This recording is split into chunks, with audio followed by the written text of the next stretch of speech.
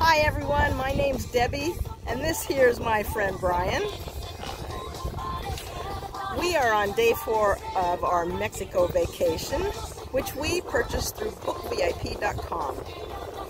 We wanted someplace that was all-inclusive, but we wanted someplace small and quiet where both of us could just sit on the beach, Brian could read his book, and I could relax in the sun.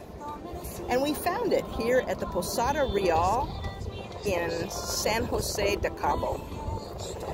The staff here is friendly and attentive, and they treat us both like we were VIPs. The tacos are amazing. And the best part is the amount of money we save. Thanks, bookvip.com.